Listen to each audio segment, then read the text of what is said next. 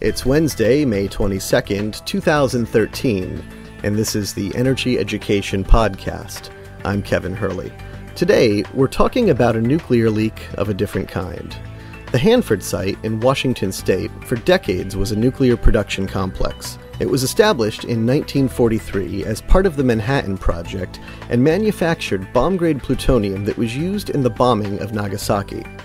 The Hanford site eventually grew to include nine nuclear reactors and five chemical plutonium processing sites. Today, much of the nation's high level nuclear waste from this refining process is still stored on site. Joining us to discuss the condition of these units is Bob Alvarez. Mr. Alvarez is a former senior policy advisor to the Secretary and Deputy Assistant Secretary for National Security and the Environment. Today, he's a senior scholar at the Institute for Policy Studies, where he focuses on nuclear disarmament, environmental, and energy policies. Bob, welcome to the show. Thank you for having me on. And Arnie, welcome to the show. Hey, Kevin. I'm glad to be here with an old friend. I was just going to say, old friends with uh, Arnie Gundersen and Bob Alvarez. Tell me about that. Yeah, I, I met Bob in 1993 when uh, my whistleblower complaints made it to a congressional hearing and the, the chair of the hearing was, was Senator John Glenn, and it was the Government Oversight Committee. And Bob was on the staff for that committee, and um, I can remember the, the very first time uh, meeting him in the halls of Congress. So we go back uh, 20 years. Bob, what are your uh, memories of meeting Arnie for the first time? Well, I was uh, involved. Among the things I was responsible for was oversight investigations of the Nuclear Regulatory Commission and the federal nuclear program. And it was in in the course of sort of uh, looking into the uh, problems that Arnie had raised in, the on the commercial side that I got involved and got to know Arnie. So the Hanford site is not a nuclear power plant, but they did used to run nine reactors for the purpose of producing plutonium for uh, atomic bombs. Uh, but this is all old news. So what's new? They have announced that there have been several tanks now that have been leaking after a period of years where they weren't. There's a long history of cover up regarding these tanks, and in the late 1980s, uh, while working for Senator Glenn on the Government Affairs Committee, we were the first to force the department or compel them to reveal the magnitude of the leaks at the Hanford tanks, which turned out to be over 1 million gallons roughly one third of the tanks, more than one third of the tanks at the site had leaked. They mitigated the problem somewhat by by what they called uh, removing as much liquid as they can from the tanks, leaving behind salts. But these tanks are not holding up, and they're still now uh, resuming leakage. And they also built a second generation of tanks that have what are called double shell tanks that have two still liners. And one of those has already sprung a leak. So, Arnie, can you give us a little bit of history about what went on at Hanford? The Hanford site dates back to the Manhattan Project, and it was designed and, and built in the early 1940s to make plutonium for, for nuclear bombs. The site had as many as nine reactors, and the reactors created the plutonium in their fuel. But that's not how you make a bomb. You've got to chemically strip out that plutonium so the Hanford site had the reactors creating irradiated fuel, and then the fuel was chemically stripped of the plutonium to make the bombs. So the spent fuel was plutonium plus a bunch of other radioisotopes, which was then refined. About one percent of the spent fuel, in terms of radioactive content, is plutonium, or actually by by weight. So they took it to what are called chemical separations plants, where they dissolved the spent fuel in nitric acid and then used solvents to extract out the uranium and the plutonium, and then left behind this waste stream, which they then mostly poured into these 177 tanks, which these are the wastes that are considered to be high level radioactive wastes. What is in that waste? Well, every element on the periodic chart is in those wastes. The wastes make up about 54 million gallons. They contain about 194 million curies of radioactivity, somewhere around one to one and a half metric tons of plutonium are sitting in the sludge of these tanks. So the plan A was when they stripped out the plutonium that they would just put this liquid gook into tanks. Then plan B was that they would then make better tanks, double walled tanks. And now plan C is that they're building a facility out there that's years behind schedule to solidify the contents of these tanks. That's correct. But when plan A was created, there was no plan for ultimately treating this stuff? The goal well, was they, just to dump it in the desert. Well, they they they really never thought about emptying out the tanks and dealing with these wastes. I mean, these wastes were generated during the war in a you know sort of in a big hurry to to make the first nuclear weapons, and they scaled up to this rather you know to these large scale industrial operations. Uh, you know, uh, within a year after uh, the first uh, self-sustaining chain reaction took place at the University of Chicago in December of 1942. When they started to separate out the plutonium from the spent fuel, the waste came out as an acid, and so because it was acidic, the only way you could store this stuff would be in stainless steel tanks.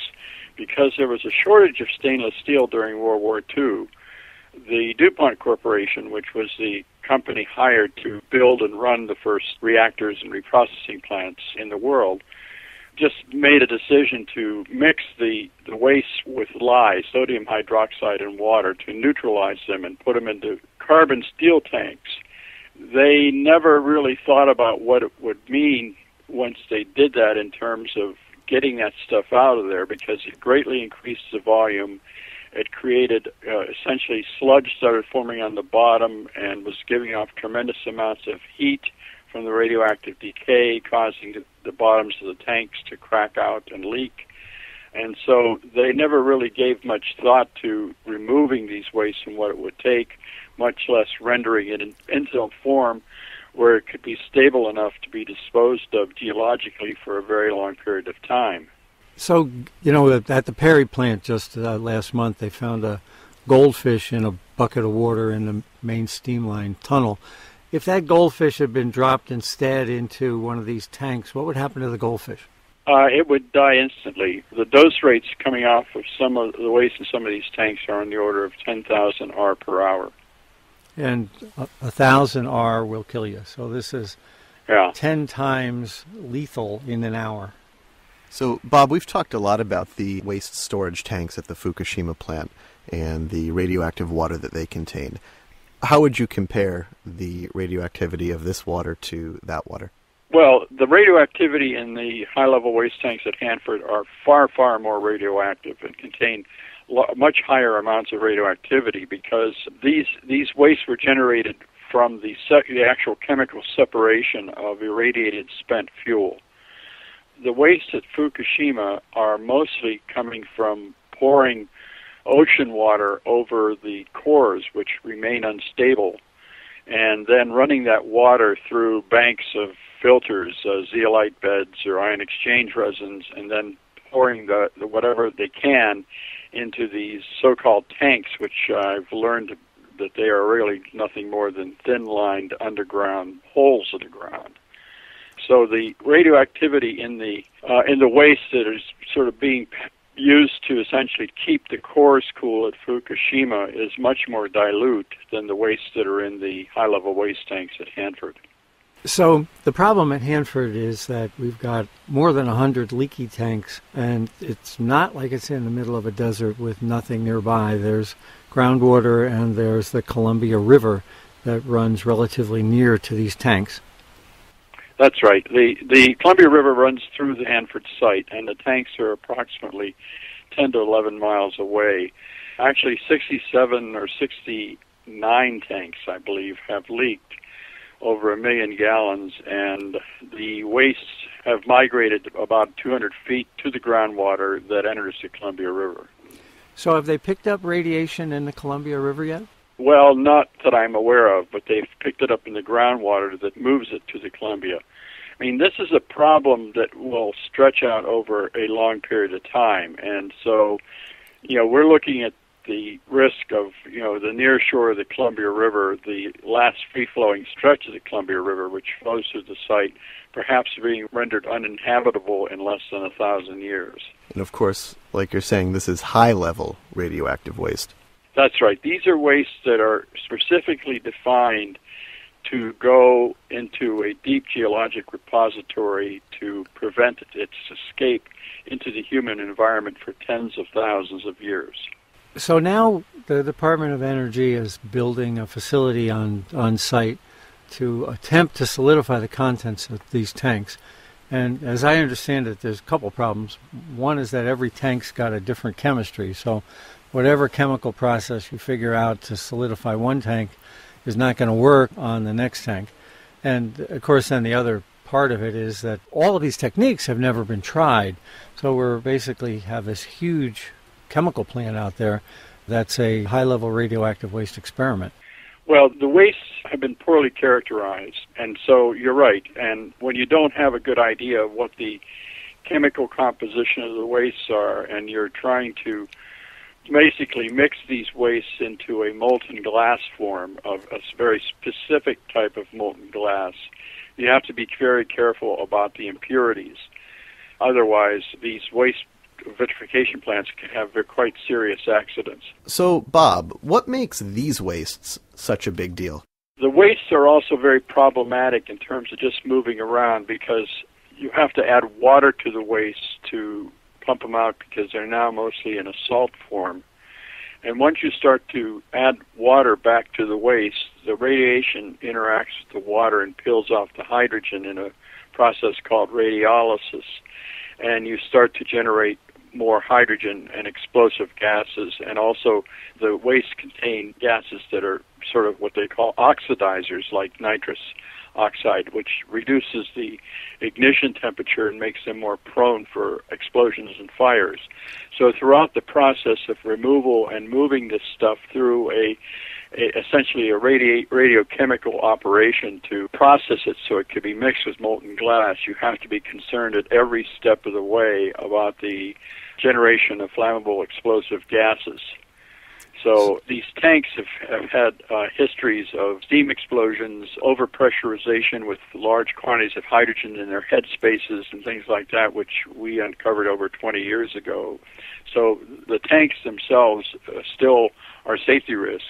Having said that, a vitrification plant is is not a reactor. It does not have the thick concrete and steel shield that surrounds the reactor vessel as an extra barrier to prevent the escape of, of radioactivity during an accident. What the vitrification plant has is something like 700 filters with no extra containment while it's handling very large, you know, mega curie quantities, uh, millions of curie quantities or in batches. So if you don't remove certain impurities from the waste, such as chromium, aluminum sulfates, if this stuff gets into the melter, it can cause what are called phase separations, and if water gets in there, then you have a steam explosion, and you can have a catastrophic release of radioactivity that the Nuclear Regulatory Commission itself considers to be just as bad as a severe nuclear reactor accident. So we're really stuck between a rock and a hard place here. If you leave it in the ground, it's going to rot the tanks and work its way to the Columbia River. But if you try to vitrify it, which is a technical term meaning you try to change it from this liquid muck into a, a, solid pellet that could then get stored in the ground. If you try to do that, you run the risk of an explosion comparable to a meltdown in a nuclear reactor. Well, and the the problem here is one of rushing, trying to simultaneously design and build a first of a kind operation that's never been proven to work before with material you don't really understand all that well. There's also a rigidity to decisions about how to proceed here for example, the type of glass that the United States has decided on for these wastes, uh, it's called borosilicate glass, requires a, a great deal of pretreatment. As I said, you have to take out these impurities or else you have real big problems down the road. So, is anyone else doing this any differently? I mean, is there anything else we might be able to try? Russia, on the other hand, has been vitrifying or has vitrified a very, very large amount of similar waste using a glass form where you don't have to do a lot of this pretreatment. It's a sort of a sodium phosphate or iron phosphate glass, which is very tolerant of impurities. But because it wasn't invented here, and more specifically, they didn't think about it at the Hanford site, there's a fierce resistance to looking at alternative technologies. So, Bob, if this project were put in your hands, what would you say we should do? Well, first of all, we need to recognize that this is the largest, most expensive, and perhaps most riskiest environmental nuclear project that the United States has undertaken. This project, if you look at its current official estimated life cycle expenses, is somewhere in the ballpark of $110 billion. Roughly 20% of that total cost is the capital expense of building the facility. The rest has to do with operation. This facility is going to have to operate rather smoothly for many decades to get these wastes removed and stabilized. It is now being treated almost like a relatively obscure sideshow, whereas it should be treated as a project of national importance with a great deal of attention. One of the problems here is that there isn't a third party safety overseer to this project. When this project was was launched on its second or third iteration in 1996 when I served in the Department of Energy, we had the Nuclear Regulatory Commission come in with the goal of them having to license this facility. And they brought in 75 people and brought in a much different culture. I know that there's a, a lot of, of concerns and issues about the Nuclear Regulatory Commission and its relationship with the reactor operators. In this case, as they say, the NRC did not have a dog in this hunt. They brought in some of their best people and started to sort of develop a system of regulations that would be light years ahead of what the department uh, does. The Nuclear Regulatory Commission regulates safety through basically standards that are subject to fines and penalties that are developed in a relatively transparent way through the Administrative Procedures Act. They're binding. The Department of Energy, for the most part, regulates safety through contract clauses that can be changed without any public notice. So, if I can get this straight, this waste product is actually vitrified with a, a, solid glass ceramic compound, meaning it's not exactly put into a vessel, but it's combined with a solid glass or ceramic to make sort of a, a log, a solid piece of waste, which can then be easily handled by robots. Now, there are some studies that show that this might not last for more than 100 years. Can you talk about that, Bob? Well, I think that the the issue of the durability of this glass is theoretical anyway, and that uh, what I'm afraid has happened is that a decision was made sometime in the early 70s to sort of pursue this particular technological fix, and all thinking stopped. So a lot of the proof is still in the pudding here and has yet to come out. The other problem with what they're trying to do here is that they're trying to reduce the number of glass logs that would go to a repository because this is a very large volume of waste that has to somehow be dealt with. So their plan is to is to fractionate the waste. In other words, separ- the waste in the tanks are in two basic forms: a soluble form and an insoluble form. The insoluble form is essentially the sludge that sits at the bottom of the tanks, and it contains over 90% of the heavy stuff like plutonium, strontium 90, and things like that. And then the liquids or salt cakes, which are soluble, sit on top. And that stuff contains over 90% of the very, very radioactive stuff, such as cesium 137. Their current plan is to separate out the soluble from the insoluble, somehow pre-treat the soluble material, the salts, and remove all that, as much radioactive cesium as possible, and dump that on site in a glass form. And to take the cesium that they are removing from the soluble phase and put it into the waste stream where they're going to be vitrifying mostly the sludge. This is turning out to be a little more complicated than they had thought because it, it, it involves a great deal of uh, pretreatment. But the other big problem, technological problem or design problem, is that the department basically decided to go ahead with a design that was initially developed by British Nuclear Fuels, and they used what are called black cells. These are sort of hermetically sealed process rooms where once you seal them up, nobody goes in. Uh, there's no way to fix things once you go in. And if something goes wrong, this could literally cripple the whole operation. So, this vitrification process is a 35 year old idea. Can you give me some sense of what the track record of it is? They have been using this using this glass form. The first, really, if you want to call it test bed, was at West Valley, where this involved essentially one tank of high level waste. And they've been able to generate glass logs with that. The Savannah River site in South Carolina has been operating a vitrification plant but it has had big problems in terms of dealing with the 80 90% of the waste volume in these soluble waste forms and that that part of their vitrification plant is about 20 to 25 years behind schedule and way over budget. So Bob, is this technology ready for prime time? I think it's unproven. The claim that it would hold up for these long periods of time, I, as I said, I think this is still in the realm of speculation. I think the problem here uh, that we're looking at is a very similar problem to what we are looking at with respect to commercial nuclear spent fuel is that we are putting the waste disposal cart before the safe storage horse. I think we need to start to think about building spare tanks at Hanford and establishing a much more responsible containment strategy for these wastes, given the fact that this technology is taking a very long time and costing a lot of money to even demonstrate it will work. I think that we also need to start to look at alternative technologies that can be demonstrated on a pilot scale. This may take longer, but you know, when we made the first nuclear weapons during World War II, we built pilot log plants. We didn't suddenly scale up from the University of Chicago's uh, first reactor pile, as it was called, and built these uh, giant reactors at Hanford. There were pilot reactors built at uh, Oak Ridge before that, before the, the larger reactors were built at Hanford.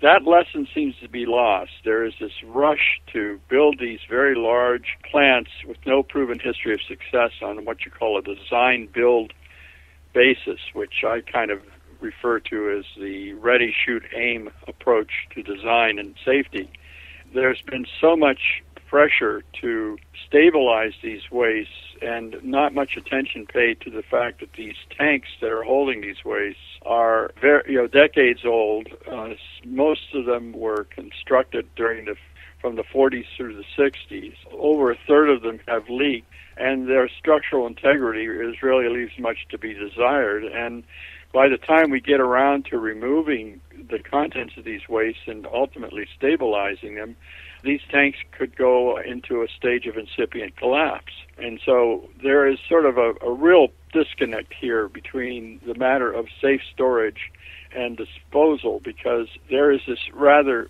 false assumption which I think you know people are deluding themselves into thinking this is the case is that somehow disposal of these materials are just around the corner when that's not in any way correct.